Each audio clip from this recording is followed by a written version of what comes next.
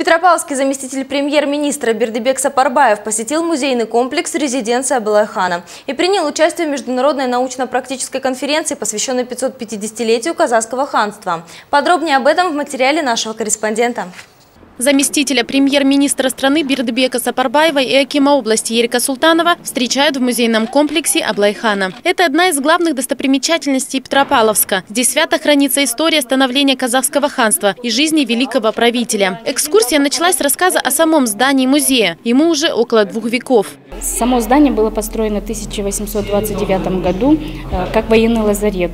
Затем э, на этом месте была э, постройка, реконструкция как резидента резиденция Байхана, это уже было э, в 2005 году, вошло в программу «Культурное наследие», и государственного бюджета было выделено 606 миллионов тенге, э, чтобы восстановить эту, это здание. Здесь постарались воссоздать все строения резиденции. Трудились больше трех лет, восстанавливали по старинным документам. С 2008 года это визитная карточка нашего города. Теперь Бердыбек Сапарбаев и Ерик Султанов переходят в следующий зал, который посвящен детству Абылая. Как начался его путь восхождения на трон, с какими государствами государствами вел дипломатические отношения. Экскурсовод оперирует историческими фактами и событиями. Гости интересуются, задают вопросы. А вот покой и обылая тронный зал. Здесь вниманию Бердыбека Сапарбаева и Ерика Султанова представили удивительные предметы быта тех времен. Экскурсия оставила яркие впечатления. Об этом заместитель премьер-министра Бердыбек Сапарбаев написал в гостевой книге. Подробно о пути становления страны казахского ханства до независимого государства длиной в 550 лет говорили в СКГУ имени Манаша Казыбаева. Здесь с участием заместителя заместителя премьер-министра Республики Казахстан Бердыбека Сапарбаева и Акима области Ерика Султанова прошла международная конференция. До начала небольшая экскурсия. Предметы быта, колесница, посуда казахов. Выставку экспонатов представили члены студенческого центра археологии. О своей работе они рассказали гостям. Вот то, что вы видите,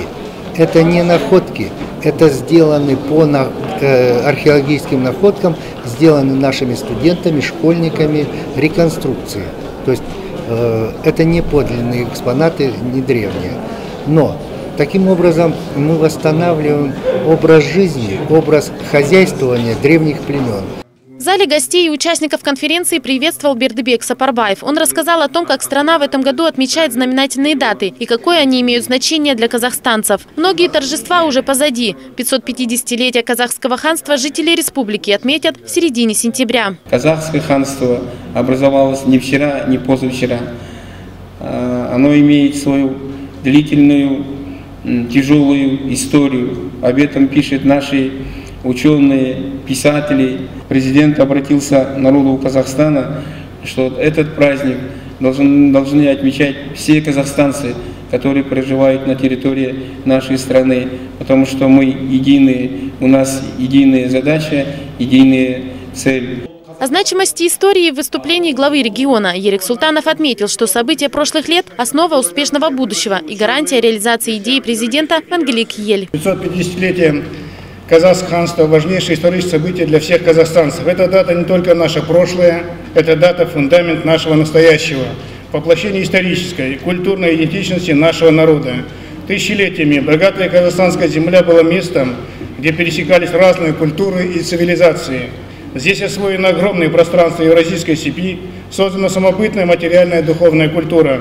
После слова взяли профессора и доктора исторических наук. Они съехали со всего Казахстана. Участие в конференции приняли и коллеги из России. Директор научно-образовательного центра евразийских исследований Южноуральского государственного университета Александр Таиров поделился со слушателями результатами своих исследований истории жизни кочевников Южного Урала и Северного Казахстана. Говорил об их роли в становлении России и Казахстана. Урала э, казахстанские э, степи, э, занимая центральную часть великого пояса степей, они э, во все эпохи являлись связующим звеном, такой контактной зоной между западной и восточными частями Евразии. Главенствующее положение центрально-казахстанских племен основывалось на контроле за источниками цветного металла, медными месторождениями региона, разработка которых началась еще в эпоху бронзы.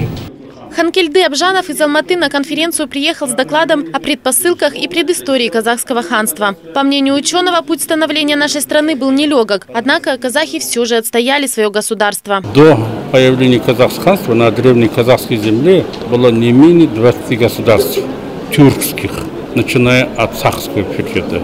Казахстанство вобрало в себя самые лучшие, конкурентоспособные, прогрессивные черты и качества всех государств. Путь тут сложный, противоречивый. Самое главное, пройдя этот путь, Казахстан, казахский народ стал конкурентоспособным народом.